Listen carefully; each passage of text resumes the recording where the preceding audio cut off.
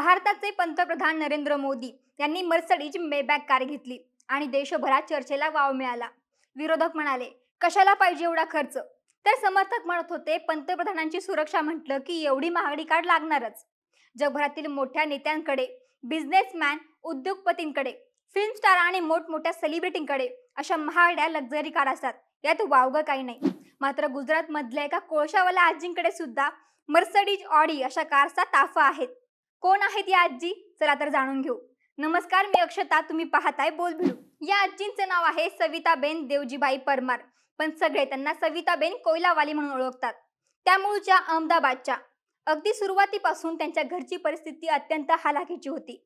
सविताबेन यांचे पती Ahmedabad municipal transport सर्व्हिसमध्ये कंडक्टर होते. त्यांचा एकट्याचा पगार आणि घरात खाणारी तोंड जास्त असल्यामुळे प्रचंड ओढाताण व्हायची. एकत्र कुटुंबाची जबाबदारी वाहणाऱ्या सविताबेन यांना संध्याकाळी जेवणात भाकर तुकडा सुद्धा कसाबसा मिळायचा.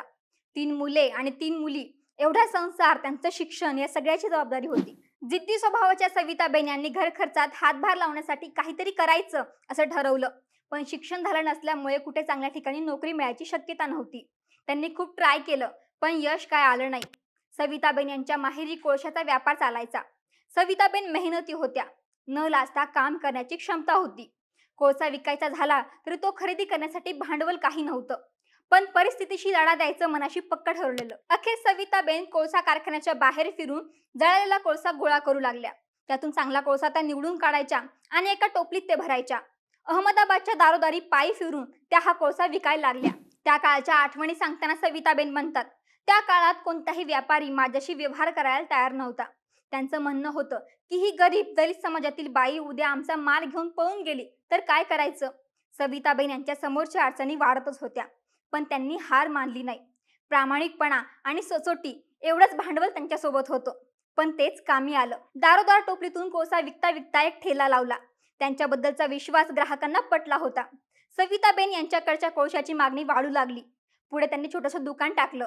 सविताबेन कोयलेवाली हे नाव त्यांना तेव्हापासूनच पडलं. त्यांचं दुकान जेव्हा सुरू झालं तेव्हा काही महिन्यात हळूहळू मोठमोठ्या कारखान्यांच्या देखील त्यांना ऑर्डर येऊ लागल्या.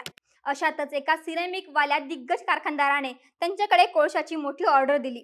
आता सविताबेन माल पोहोचवण्यासाठी आणि पेमेंट घेण्यासाठी वेगवेगळ्या कारखान्यांना भेटी देऊ लागल्या. त्या अशिक्षित होत्या पण बुद्धी चौकस होती. कारखान्यांना भेटी देताना त्यांची नजर चौफेर असायची.